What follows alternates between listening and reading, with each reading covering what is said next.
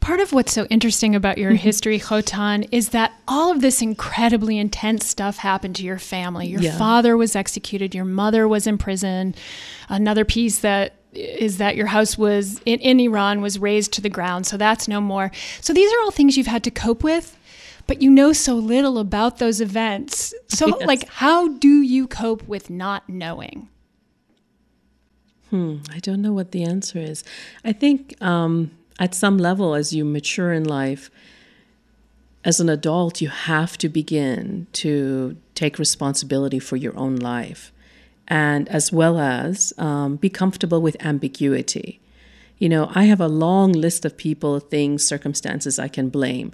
It was so and so's fault, so and so. But at some point, you just say, you know what? Okay, you're the sum total of all your experiences. You may know some things.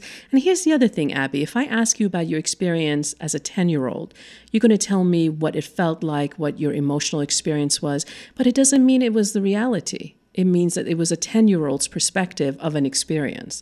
So for me to go back and sort of try to chronicle and catalog all of these experiences and try to fit it together is almost meaningless on some level because, again, memories like taffy, and I only have a certain perspective on what happened and the truth. So if I ask my mother, she's going to tell me her perspective, but daddy's gone. So who's going to give me his perspective? Okay, it's not there. Then what do you do? So do you then live as if you have an injury all your life, or do you live with the sense of, you know, it's okay. This is where I'm at.